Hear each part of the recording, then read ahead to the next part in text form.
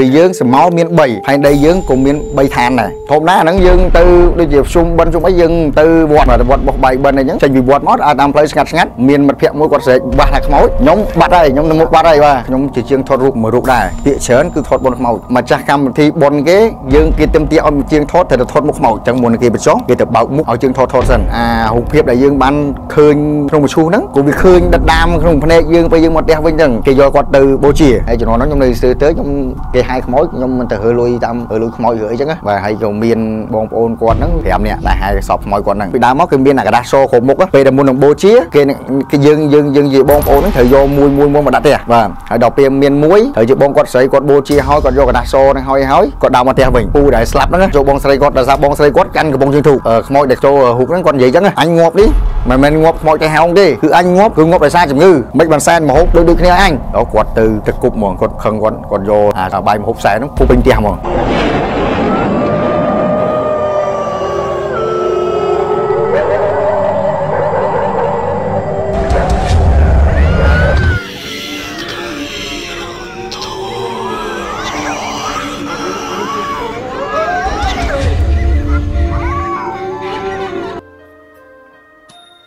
សូមគោរពនឹងជំរាបសួរដល់ពុកម៉ែបងប្អូនលោកយាយលោកតានិងប្រិយមិត្តដែលកំពុងតែតាមដានទស្សនានៅកម្មវិធីរាត្រីរន្ធត់នៅក្នុងសប្តាហ៍នេះជួបគ្នាសាជាថ្មីម្ដងទៀតជាមួយនឹងខ្ញុំបាទសេមជំនោនឹងនាងខ្ញុំពីយ៉ាក៏បានវិលមកជួបពុកម៉ែបងប្អូននិងលោកតាលោកយាយសាជាថ្មីផងដែរចា៎ពីយ៉ាមិនទៅពីคลิปកន្លងទៅអ្នកទស្សនាច្រើនដែលគាត់ចាប់អារម្មណ៍ណាអឺជាពិសេសគឺគាត់បានជួបនឹងលោកគ្រូលើកទី2បាទចា៎ហើយមានបានមើលក្រៅផ្លូវការអីទេ អត់បានមើលទេចុះឮថាក្រុមកាមេរ៉ាយើងពេលថតចប់នឹងបជ្រៀតគ្នាចូលមើលហ្នឹងមិនដែរគាត់សូមឲ្យលោកគ្រូបានជួយប្រោះព្រំសូមសេចក្តីសុខសុខសប្បាយហើយនឹងលោកគ្រូក៏បានចែកជាអំណោយចាជាអំណោយម្នាក់បន្តិចម្នាក់បន្តិចបាទឃើញថាប្រហែលសប្តាហ៍កន្លងទៅនេះគឺយើងបានជើញភ្ញៀវកិត្តិយសដែលគាត់ធ្លាប់បានជើញចូលរួមណាបាទអញ្ចឹងនៅក្នុងសប្តាហ៍នេះក៏មិនខុសពីសប្តាហ៍មុនដែរ ភ្ញៀវកិត្តិយសយើងក្នុងសប្តាហ៍នេះគឺគាត់ធ្លាប់បានជើញចូលរួមណាប៉ុន្តែក្នុងឃ្លីបមុនហ្នឹងគឺថាសោចដាច់ផ្ងារបស់គាត់ដែរចាខ្ញុំចាប់អារម្មណ៍ឃ្លីបរបស់គាត់ដែលថងគាត់និយាយឃ្លីបមួយគាត់ថាតែកន្លែងលៀងឡានពូហ្នឹងគាត់បើកន្លែងលៀងឡានអត់មានអ្នកចូលលៀងបាទហើយគាត់គាត់ទៅវាយកតេវាយកតេបាទគាត់ទៅលេងបៀហ្នឹងក៏ចាញ់គេទៀតជាមិនគាត់ គាត់អត់ទេចាញ់អាប៉ោងទៀតហើយកាលនោះបងគាត់អត់ទេសនាមខ្លួនគាត់គាត់ថាគាត់នឹងមនុស្សសួយអស់យ៉ាងហើយឥឡូវយើងបានជួបគាត់ហើយណាក្នុងសប្តាហ៍នេះបាទបាទប៉ុន្តែមុននឹងយើងជួបជាមួយនឹងភ្ញៀវកិត្តិយសសូមកុំទាន់អូសរំលងតាណាបាទសូមជួបជាមួយនឹងម្ចាស់ឧបត្ថម្ភកម្មវិធីបន្តិចសិន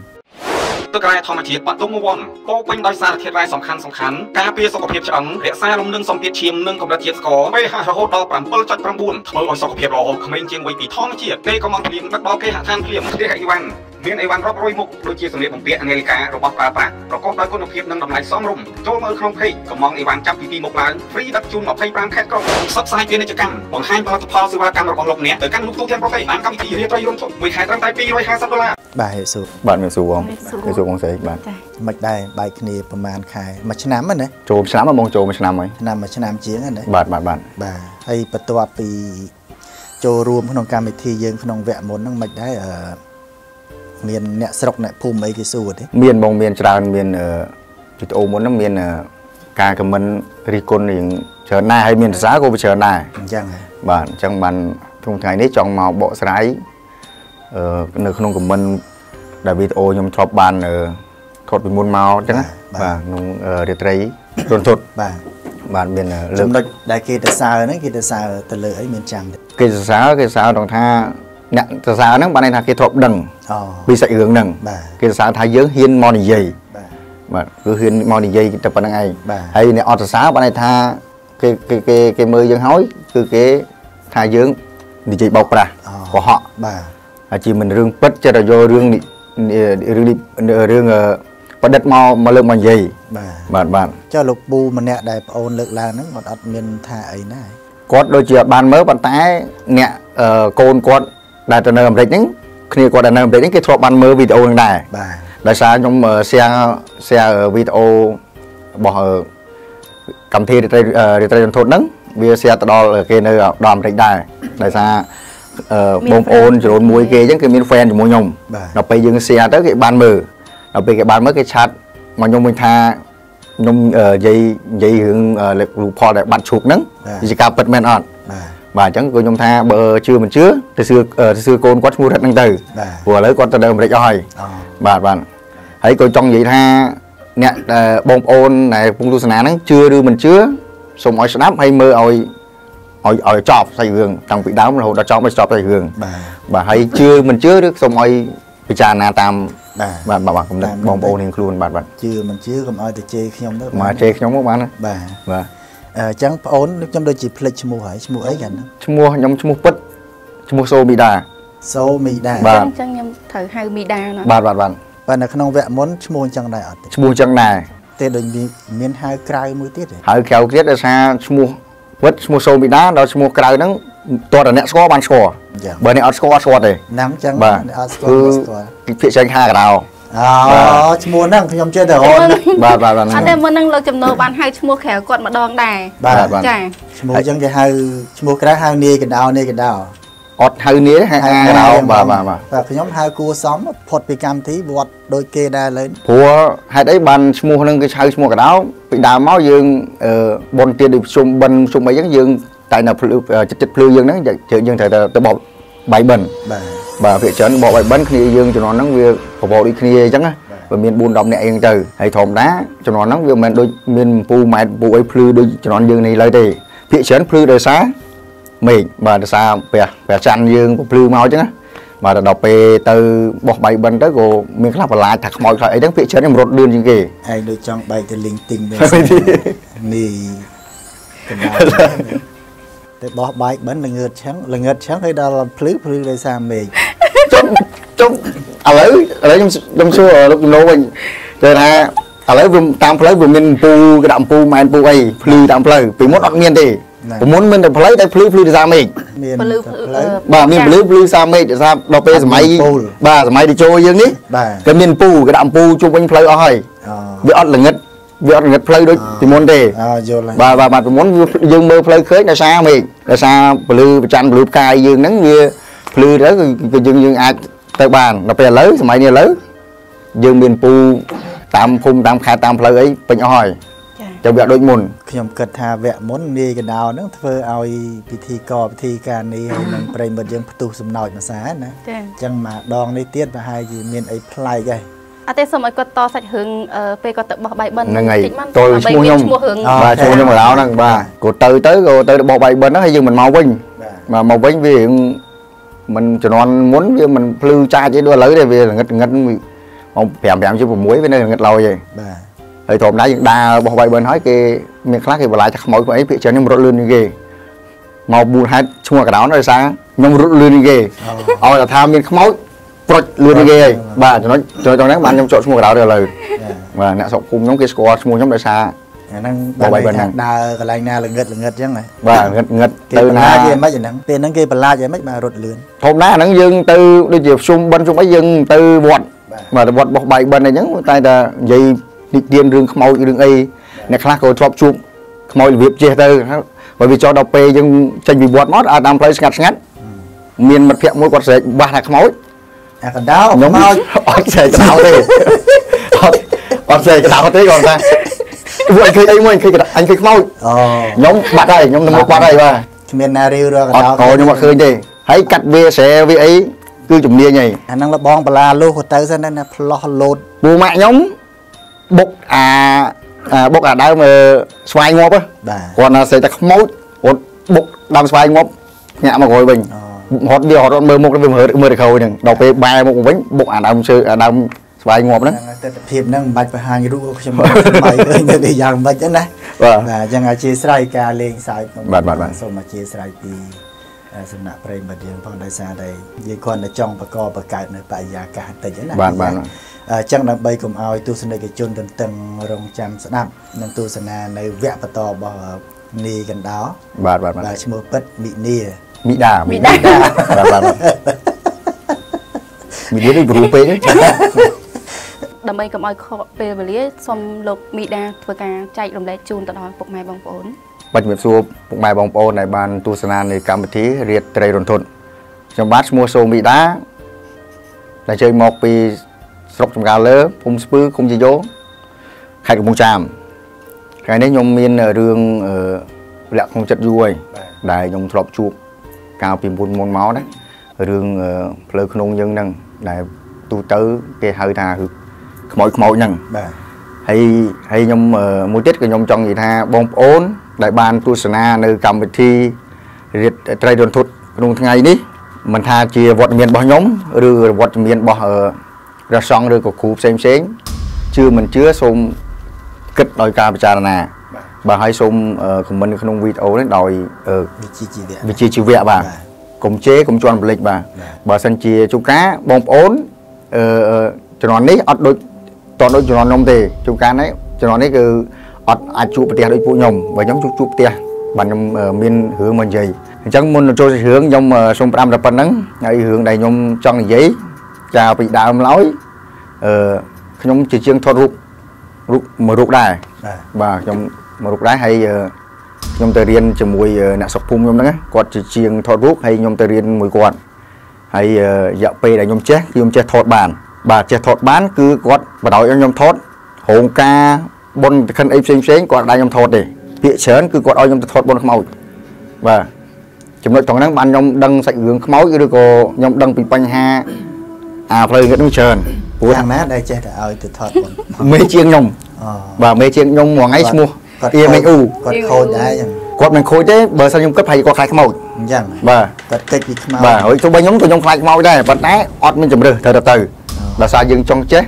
យើងចង់ដឹងយើងចង់លឺបាទបាទហើយជំនាន់ខ្ញុំថតមិនមែនដូចឥឡូវទេខ្ញុំថតម្ចាស់កម្មវិធីប៉ុនគេយើងគេទឹមទាឲ្យមួយជាងថតត្រូវតែថតមុខខ្មោចត្រូវតែថតមុខខ្មោចបាទបាទពីដើមគឺរាល់រាល់សពនីមួយមួយមុនបញ្ចុះ គឺមានអាកណាត់អាកណាត់អឺមុខណាបាទបាទកណាត់សខូចបាទមុខឈ្មោះអឺឈ្មោះអឺអឺសອບហ្នឹងបាទបាទដើម្បីឲ្យចែកឲ្យអឺកូនចៅនីមួយនីមួយហ្នឹងអញ្ចឹងមុននឹងគេបញ្ចុះគេទៅបើកមុខឲ្យជើងថតថតសិន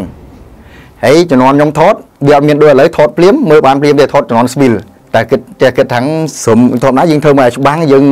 ថតអាជំនាន់នេះកង់យើងស្វីលណាយើងសេរីទៅមើលឲ្យច្បាស់មុខឲ្យធម្មតាច្បាស់មិនច្បាស់មួយនេះច្បាស់មុខខ្មោច បាទច្បាស់មុខខ្មោចហើយខ្លះខ្មោចខ្លះវាមានឈាមតាមចំហតាមអីខ្ញុំថតហើយគិតថាអញដឹងមកលេងមកលេងយកមិញយកនឹងហើយថតមិនមែនមិនមែនតែមានតែម្នាក់គឺខ្ញុំថតសពច្រើនណាស់បាទបាទជួនកាលក៏មកបញ្យល់សពយើងទៅជួនកាលណាក៏យើងអារូបភាពដែលយើងបានឃើញក្នុងមឈូសហ្នឹងក៏វាឃើញដិតដាមក្នុងភ្នែកយើងពេលយើងមកផ្ទះវិញហ្នឹងបាទបាទវាអាចវាអាចមានអញ្ចឹងប៉ុប៉ុន្ន្តែតែពាក្យវាវាអាចទេណាព្រោះ វាថាយើងឃើញនឹងទស្សនភាពណាពេលមកដល់ផ្ទះត្រូវគេងទៅអីហ្នឹងសម័យជាប់បាទវាសម័យ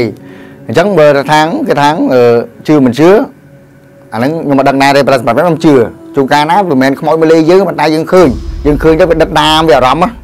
ហើយធម្មតាអឺមនុស្សយើងបើតាមគិតទៅមនុស្សយើងណាអឺលោកលោកលោកចំណូលដឹងថាមនុស្សយើងណាស្មៅមាន3មានដឹងថាមនុស្សយើងមួយថ្ងៃស្មៅមាន3ហើយមនុស្សយើងស្មៅមាន3បាទហើយផែនដីយើងក៏មាន3ឋានដែរ មានឋានកណ្ដាលឋានរក់ឋានសួគ៌បាទបាទហើយមនុស្សប្រុសយើងដូចលោកលោកចំនួនឯងខ្ញុំក៏មាន3ដែរ3បើមានទៅ2ក៏ធ្វើឲ្យកើតដែរបាទតែតែមាន3អញ្ចឹងជឿមិនជឿក្នុងការពិចារណានិយាយបាទថាក៏ប្លែកតែចោះថាខ្ញុំអីនឹងប្អូនមាន3អញ្ចឹងណាបាទបាទខ្ញុំនឹកឃើញមិញសួរខ្ញុំនៅសមោលហ្នឹងមាន3បាទស្មៅយើងពេលយើងពេលស្មៅដែលយើងនៅរស់នេះបាទពេលដែលយើងយើងត្រូវដឹងថាស្មៅយើងមាន3 បាទបើសិនយើងដើរដើរយើងដើរទៅវាលណាមួយស្មៅយើងលិចបែកចេញជា3ហ្មងគៀនគៀន2ក្រោយខ្នង1ខ្ញុំអត់ដែរចាប់អារម្មណ៍ទេអាបាទសមោលខ្លួនឯង3ហ្នឹងប៉ុន្តែខ្ញុំធ្លាប់ឃើញក្នុង Facebook ហ៎ឃើញ Facebook ហ្នឹងដូចជារូបតុក្កតាអត់អត់តែហ្នឹងពិតហ្មងអញ្ចឹងលោកចំណូលនឹងបងស្រីជឿមិនជឿខ្ញុំអត់ដឹងទេគាត់ថាសម្រាប់ខ្ញុំខ្ញុំអឺដឹងខ្លួនខ្ញុំខ្ញុំធ្លាប់ជួបហើយខ្ញុំអឺបើនិយាយពីការសិក្សាទៅខ្ញុំគាត់ដឹងតាមថា ផែនពុកផែនដីយើងនេះវាមាន3ឋានមិនមែនឋានសុនអ៊ូខុងទេណាចាឋានមនុស្សលោកយើងហ្នឹងបាទវាមានឋានរលក់វាមានឋានកដាវាមានឋានលើចាឋានលើមិនមែនធ្វើឡានទេណាឋានលើឋានដែលមនុស្សយើងស្លាប់ទៅសាងបុណ្យបានច្រើនច្រើនអាចដឹងទៅឋានលើតែយើងមើលអត់ឃើញទេតែគ្រាន់តែថាយើងអាចស្មើស្មៃយើងអាចដឹងពីផ្លូវអារម្មណ៍របស់យើងព្រោះមនុស្សយើងពេលខ្លះយើងងាប់យើងអឺងាប់ឬក៏ស្លាប់បាត់ទៅយើងសល់ស្មៅយើងសល់ស្មៅយើងដែលមិនតន់អស់អាល័យឬក៏យើង ដូចថាមនុស្សយើងស្លាប់ពីដើមចាស់ចាស់តែនិយាយថាទៅស្លាប់មិនទាន់7ថ្ងៃមិនទាន់បូជាព្រលឹងយើងអត់ទាន់តាណាទេអញ្ចឹងថាព្រលឹងរបស់របស់មនុស្សយើងហ្នឹងវាអត់ទាន់ទៅទេបើថាមនុស្សយើងតែមិនទាន់ចាប់ជាតិគឺព្រលឹងសម្ៅយើងនឹងនៅតោតាមតាមយើងជានិច្ចនៅវល់វល់ផ្ទះយើងនឹងជានិច្ចអញ្ចឹងបានថាវាតែខ្មោចហ្នឹងបើតាខ្ញុំគិតហើយជាសម្ៅហ្នឹងហើយស្លាប់រូបរាងកាយតែនៅសម្ៅបាទបាទបើខ្ញុំគិតអញ្ចឹងបានថាមនុស្សយើងស្លាប់គេថានៅឋានក្រមឋានរស់ហ្នឹងធម្មតាយើងនៅរស់យើងដើរដីយើងស្លាប់ គេមិនកប់ដីបាត់ហ្នឹងគេហៅឋានក្រមហ្នឹងហើយបើខ្ញុំគិតណានេះគិតខ្លួនខ្ញុំណាថាបងប្អូនដែលពងទស្សនាជឿមិនជឿក៏ខ្ញុំអត់ដឹងថាតាមការគួរបាទបាទទេឥឡូវអត់ទាន់បញ្ជាក់ថាសមោលនឹងយ៉ាងម៉េចផងស្មៅហ៎បាទបាទស្មៅខ្ញុំធ្លាប់ចង់និយាយថាថតនឹងធ្លាប់ឃើញសមោលឬអត់ទេអត់ទេខ្ញុំខ្លួនឯងចូលខ្ញុំបាទនៅស្មៅហ្នឹងខ្ញុំធ្លាប់ការខ្ញុំនៅទូចទូចការលបាក់ 12 13ឆ្នាំហ្នឹងខ្ញុំដើរតាមផ្លូវតាមអីចឹងបាទហើយជំនាន់ខ្ញុំដូចនិយាយខាងលើអញ្ចឹងវាអត់សូវមានពូម៉ែត្រអីបកគោភ្លើងកោអីតាមផ្លូវតាមអីដូចមុនណាគឺយើងភ្លឺដោយសារភ្លឺព្រះច័ន្ទភ្លឺផ្កាយអីចឹងទៅដល់ពេលយើងដើរទៅវាបែកវាបែកអឺស្រមោលបាទគឺហ្នឹងគឺខ្ញុំព្រួខ្ញុំផ្ទាល់ហ្មងជួនកាលវាបែកស្រមោលមួយតាមពលឺដែលគេចាំងមកយើងណាហើយជួនកាលបែកស្រមោលពីរប៉ុន្តែពាក្យច្រើនកាលពីមុនខ្ញុំធ្លាប់ឃើញគឺស្រមោលពាក្យច្រើនបែកជា3ខ្ញុំចង់ដឹងថាពេលដែលគាត់ថត មុខសាកសពផ្ទាល់ផ្ទាល់នៅពេលដែលជំនាន់មុនហ្នឹងមានជា feel ត្រូវឯងបងមានជា feel ចានៅពេលដែលផ្ដិតរូបថតឲ្យគេហ្នឹងមានធ្លាប់មានជាប់ជួបហេតុការណ៍អីប្លែកៗនៅពេលដែលកាត់ហេតុការណ៍ហ្នឹងដូចផ្ដិតរូបថតហ្នឹងអត់ធម្មតាយើងថតហើយយើងមានអារម្មណ៍ថាខ្លាចទី1ទី2យើងគិតថាយើងជាអត់ផុតនឹងយើងយល់សពឬក៏យើងស្មើសម័យទេតែបើថាឲ្យឃើញគាត់ផ្ទាល់ហ្មងគាត់មកលងយើងហ្មងវាអត់មានទេអត់ដែលជួបបាទការបាទជួបការអីពេលរៀបកាត់ផ្ដិតរូបថតហ្នឹងមកឃើញទស្សនភាពភ្នែក ខ្មោចហ្នឹងមានអីមានអាហ្នឹងយើងឃើញក្នុងការស្មើសម័យក្នុងការយល់សពរបស់យើងអញ្ចឹងបើដូចថាយើងថតរូបគាត់ហើយអញ្ចឹងដែលរូបគាត់ហើយអញ្ចឹងប្រហែលចម្លងពីរថ្ងៃអញ្ចឹងយើងអាចយល់សពឃើញគាត់អាហ្នឹងវាជាសមោលមួយដែលគេមហោយើងក៏ថាបានខ្ញុំហើយខ្ញុំក៏អត់តន់យល់ថាយល់សពហ្នឹងវាជាការពិតឬក៏គាត់ថាជាប្រឌិតដែរប៉ុន្តែក៏បីតែខ្ញុំគិតសពខ្ញុំខ្ញុំឃើញហើយហើយតែបើឲ្យខ្ញុំឃើញក្នុងយល់សពទៀតអានេះមកថារឿងបាទរឿងអឺរឿងអឺផ្លូវក្នុងហ្នឹងរឿងអបិយជំនឿហ្នឹងត្រូវតែជឿ បើថាបើមិនជឿយើងកុំពៀនបាទយើងសាងតែល្អទៅប៉ុណ្្នឹងឯងបាទអញ្ចឹងរឿងបន្តទៀតហើយរឿងទី2ខ្ញុំអឺជួបផ្ទះតរដែរគឺនៅខាងស្រុកខ្ញុំដែរអញ្ចឹងរឿងនេះបើអ្នកស្រុកភូមិខ្ញុំគាត់នឹងអាចគាត់បើសិនគាត់បានមើលវីដេអូមើលកម្មវិធីទៅទៅធនហ្នឹងគាត់អាចឃើញខ្ញុំគាត់នឹងដឹងស្អីរឿងហ្នឹងបាទតែបើសិនជាអ្នកអត់ដឹងសាច់រឿងហ្នឹងគឺអ្នកអត់នៅភូមិហ្នឹងគាត់ដឹងទេអាហ្នឹងសូមឲ្យស្ដាប់ក្នុងការពិចារណាចុះបាទជឿឬមិនជឿគាត់អឺអឺមាននៅចិត្តផ្ទះខ្ញុំហ្នឹងគាត់ស្លាប់ដោយសារ ជំងឺអេដបាទគាត់ស្លាប់ដោយសារជំងឺអេដហើយក៏គាត់គេយកគាត់ទៅបូជា បាទគេយកគាត់ទៅបូជាអញ្ចឹងហើយជំនាន់នោះខ្ញុំនៅស្ទើរទៅខ្ញុំគេហាយខ្មោចខ្ញុំមិនទៅរើលុយតាមរើលុយខ្មោចឬអីចឹងបាទហើយក៏មានបងប្អូនគាត់ហ្នឹង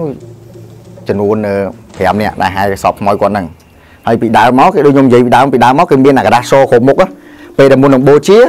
ពេលមុននឹងបូជាគេគេយើងយើងយើងនិយាយបងប្អូនហ្នឹងត្រូវយកមួយមួយមួយមកដាក់ផ្ទះ បាទហើយដល់ពេលមានមួយត្រូវជាបងគាត់ត្រូវជាបងគាត់ស្រីត្រូវជាបងគាត់ស្រីគាត់បូជាហើយគាត់យកកណាសនឹងហើយហើយគាត់ដើរមកផ្ទះវិញគាត់ដើរមកផ្ទះវិញហើយអឺពូដែលស្លាប់ហ្នឹងចូលគាត់អារឿងចូលខ្មោចចូលរូបហ្នឹងបើបងប្អូនជឿមិនជឿខ្ញុំក៏ដឹងដែរប៉ុន្តែខ្ញុំខ្ញុំជឿដោយសារខ្ញុំឃើញនឹងភ្នែកចូលបងស្រីគាត់បាទចូលបងស្រីគាត់ដោយសារបងស្រីគាត់កាន់កំបងជើងធូបបាទកំពុងតែហែសពហែសពបញ្ចោអស់ហើយប៉ុន្តែប៉ុន្តែបើសិនជាខ្ញុំដឹងណា ខ្ញុំដឹងខ្ញុំដឹងត្រឹមនៅផ្ទះតែដល់ពេលបងគាត់ផ្សេងផ្សេងៗថាគាត់អឺពូហ្នឹងគាត់ត្រូវបងអូនគាត់ហ្នឹងត្រូវស្លាប់ហ្នឹងណាចូលតាំងនៅអឺនេះម៉េះចូលតាំងនៅអឺកន្លែងមកចុះអឺកន្លែងមកចុះសពម៉េះដល់ពេលដោយសារខ្ញុំកាត់តិចដោយសារមូលហេតុបានចូលពេលគាត់ពេលគាត់ចេញវិញហ្នឹងគាត់ប្រាប់ថាមកពីគាត់ងាកក្រោយធម្មតាហ្នឹងគេកាន់ជើងធូបឬក៏កាន់អាអាអាអំបោះអំបោះដែលចាគាត់ចានៅមុខដែលយើងមុននេះយើងមកផ្ទះហ្នឹងណាតែកាន់ហើយគេអត់ឲ្យបកក្រោយទេ បានថាយើងមកផ្ទះគឺមកត្រង់ហ្មងហើយគាត់គេហៅគាត់គាត់ច្រឡំងាកក្រោយដល់គាត់ចូលគាត់ចូលគាត់អត់មានអ្នកចាប់អារម្មណ៍ទេហើយខ្ញុំនៅនៅនឹងដែរខ្ញុំធម្មតាខ្ញុំនៅចិត្តផ្ទះគាត់ដែរដូចជាផ្ទះបងប្អូនដែរវាអញ្ចឹងណាហើយគាត់អត់ចេះជក់បរិយទេអានេះបងប្អូនជឿមិនជឿហ្នឹងតាមការការគួរតាមការគិតណាគាត់អត់ចេះជក់បរិយហើយគាត់មិនស្អីទៀតគាត់អត់ចេះជក់បរិយទេស្រាប់តែមកដល់ផ្ទះភ្លាមគាត់អង្គុយចောင်းហោងគាត់អង្គុយជើងហោងលើក្រែមុខផ្ទះយីហើយគាត់ធ្វើគាត់អង្គុយជក់បរិយហើយស្រីគាត់អង្គុយជក់បរិយគាត់ជក់បរិយទៅ អត់មានអ្នកចាប់អារម្មណ៍ទៀតគាត់ជក់បរិយអស់មកដើមគាត់តែកន្លែងធម្មតាគឺមានតុកមួយដើម្បីដាក់រូបថតដាក់រូបថតអឺសពហ្នឹងណាហើយនឹងអឺមហូបផ្សែងផ្សេងផ្សេងហ្នឹងដល់គាត់ទៅទៅគប់ហ្មងគាត់គប់គាត់ខឹងគាត់គាត់យកអាអាបាយមហូបផ្សែងហ្នឹងគប់ពេញផ្ទះហ្មងហើយទាំងគាត់ណាបើសិនជាជឿមិនជឿក៏ខ្ញុំអត់ដឹងដែរបងស្រីបងស្រីខ្មោចហ្នឹងស្លូតទាំងស្លូតបរិយក៏អត់ចេះជក់បាទ ប៉ុន្តែអ្នកស្លាប់ហ្នឹងចេះជក់អត់អ្នកស្លាប់ហ្នឹងចេះជក់ហើយកាចហើយនិយាយលោឡាពេញផ្ទះយកបាយយកម្ហូបបោះចោលពេញផ្ទះហើយអង្គុយយំហ្មងអង្គុយយំឡើងអ្នកភូមិមកសួរគ្នាឆ្ងល់គ្នាថាបងស្រីសពហ្នឹងកើតអីចឹងអង្គុយយំហើយជក់ໄວហើយចេះហៅថាកូនបើគាត់រហូតហើយគាត់ថាអញងាប់នេះអញមិនងាប់ខ្មោចតៃហោងទេអញងាប់ងាប់ដោយសារជំងឺអូកុំមកសែនមកហូបមុខមុខដូចគ្នាឲ្យអញអឺខ្មោចដែលខ្មោចចូលចូលហូបហ្នឹងគាត់និយាយចឹងណាបាទចូលបងគាត់គាត់និយាយចឹងថាអញងាប់នេះ មិនមែនងាប់ខ្មោចតៃហោងទេគឺអញងាប់គឺងាប់ដោយសារជំងឺមិនបានសែនមកហូបដូចដូចគ្នាអញបានន័យថាមហូបសែន3 4មុខហ្នឹងគឺដូចគ្នាដូចគ្នាបាទបាទថាបីមុខហ្នឹងគឺដូចដូចគ្នាមួយមួយមុខមុខហ្នឹងគឺដូចដូចគ្នាទាំងអស់អញ្ចឹងណាស្រាប់តែអ្នកភូមិមកអ្នកភូមិមកសួរថាបុគ្គលខយកថាបុគ្គលខបងស្រីគាត់ហ្នឹងណាបាទដែលគាត់បុគ្គលខដែលគាត់ត្រូវចូលហ្នឹងណាកហ្នឹងជាបាទបងខងបងអើបាទហើយកូនខ្មោចបាទទៅសពហ្នឹងក៏សួរថាកាត់អីណាគេ ហើយទៅក៏អឺខ្មោចហ្នឹងខ្មោចខ្មោចដែលចូលគាត់ចូលខហ្នឹងគោប្រាប់ថាអញអញណាអញចង់ប្រាប់ពួកថ្ងៃគ្រប់គ្នាថាអញមិនមែនខ្មោចតែងាប់តែហោងទេបាទអញខ្មោចអឺងាប់ដោយសារជំងឺព្រោះគាត់យំពេញផ្ទះយំពេញផ្ទះហើយគាត់ស្រោចអឺស្រីហៅថាកូនបើទេអញ្ចឹងណាគាត់ស្រីហៅកូនបើទៅហើយគាត់អឺគឺបងប្អូនដឹងថាគាត់ចូលរូបក៏គាត់អឺបងប្អូនក៏សែនថាឥឡូវបើអញសែនខុសអីខុសអីវាអញមក អញ្ចឹងណាហើយទៅក៏មកសួរទៅក៏ខ្មោចខ្ញុំប្រាប់វិញប្រាប់ប្រាប់វិញថាកុំសែនមហូបដូចដូចគ្នាបានថាពេលសែនហ្នឹងបើថាមួយចានតែមួយចានបានអីហ្នឹងហើយបាយមួយចានមហូបមួយចានតែប៉ុណ្្នឹងអញ្ចឹងណាកុំមហូបមុខតែមួយ3ចានអឺនោះយល់ទេបាទបាទបាទថាមហូបមហូបមុខតែមួយហ្នឹងមួយចានហ្នឹងកុំដាក់3ចានបាទថាសែនតែមួយចានបានហើយមួយចានបាយមួយចានបានហើយកុំសែនដល់3ចានដូចដូចគ្នា តើនិយាយពេលបាទហ្នឹងអ្នកស្រុកអ្នកភូមិហ្នឹងគេឆោឡោដឹងថាចូលគេឆោឡោដល់ចូលហើយព្រោះព្រោះអឺខ្ញុំខ្ញុំគេផ្សេងផ្សេងអង្គុយមើលគាត់ទេពេលហ្នឹងនៅផ្ទាល់ហ្នឹងអង្គុយមើលហើយហ្នឹងអង្គុយមើលតាំងគាត់អង្គុយជក់បីប៉ុន្តែយើងអត់ចាប់អារម្មណ៍យើងអង្គុយស៊ីបាយទេណាយើងអត់ចាប់អារម្មណ៍ប៉ុន្តែយើងឃើញយើងឃើញហេតុការណ៍ហ្នឹងហើយព្រោះយើងប្រាប់ចាស់ចាស់ហ្នឹងឃើញអឺបុគ្គលគាត់ត្រូវបងសពហ្នឹងគាត់អង្គុយជក់បរិយទេគាត់អង្គុយជក់បរិយគាត់អង្គុយយំគាត់អង្គុយអីចឹងណាខ្ញុំប្រាប់ចាស់ចាស់តាមហ្នឹងក៏គេដូចខ្ញុំនិយាយខាងលើហ្នឹងគេទៅសួរចូលទៅសួរថា ពីណាគេនិយាយហើយខ្មោចហ្នឹងក៏ឆ្លើយមួយបងប្អូនវិញទៅថាកុំអោយសែនមហូបដូចដូចគ្នាចឹងព្រោះគាត់មិនមែនខ្មោចតែហោងទេគឺគាត់ខ្មោចងាប់ដោយសារជំងឺបើគាត់យំអីក៏អាហ្នឹងនិយាយវាអបិយជំនឿបានន័យថាខ្មោចគេអត់ចូលចិត្តស៊ីមហូបដែលសែនដូចដូចគ្នាទេបានន័យថាខ្មោចគេបញ្ជាក់មកបានន័យថាគេចង់ឲ្យសែនមុខមួយហ្នឹងគឺមួយហ្នឹងមកបានថាសែនតែបាយមួយចានមហូបមួយចានបានហើយអាហ្នឹងពាក្យខ្មោចអ្នកនិយាយអញ្ចឹងបងប្អូនកំពុងទស្សនាកំពុងមើលជឿមិនជឿអាហ្នឹងក៏ គិតតាមការគួរទៅដោយសារតែនេះជាសាច់រឿងដែលបងអូនធ្លាប់ជួបផ្ទាល់បាទជួបផ្ទាល់បាទបាទបាទបាទបាទអញ្ចឹងដល់ពេលទៅក៏បងប្អូនចាប់រៀបចំអឺសែនឲ្យដកវិញទៅដកចានដល់ឲ្យទុកដល់មួយចានក៏វិញទៅក៏គាត់ផ្ដាំថាឲ្យមើលកូនចៅគាត់វិញផងហើយក៏គាត់និយាយចង់ក្រោយថាគាត់ស្រឡាញ់កូនបើគាត់អញ្ចឹងណាបាទសាច់រឿងគឺតែប៉ុណ្្នឹងទេហើយសាច់រឿងនេះក៏ខ្ញុំចង់បញ្ជាក់ទៀតដែរដែរថាបងប្អូនដែលធ្លាប់បានទស្សនាណាបាទបាទគាត់ស្ដាប់សាច់រឿងហ្នឹងហើយបើសិនគាត់ជឿ ឬមិនជឿអាហ្នឹងដាក់បងប្អូនអឺគិតចោះ បាទ បាទបាទបាទតែប៉ុណ្្នឹង អញ្ចឹងចេះខ្ញុំចង់ឲ្យបងអូនអឺបញ្ជាក់ទៅមុនមុនដើមកម្មវិធីហ្នឹងបងអូនបានលើកឡើងថាមានអ្នកដែលគេអេចូលចង់ចូលរួមបកស្រាយរឿងអ្នករិះគន់ បាទបាទបាទ បាទអញ្ចឹងបងអូនមានអីត្រូវត្រូវបញ្ជាក់ទេ ហ្នឹងហើយខ្ញុំចង់បញ្ជាក់អឺបងប្អូនដែលធ្លាប់រិះគន់ທາງធ្លាប់មើលទៅខ្ញុំឃើញការខមមិនរបស់គាត់ណាណាគាត់ថាយើងនិយាយសម្ដែង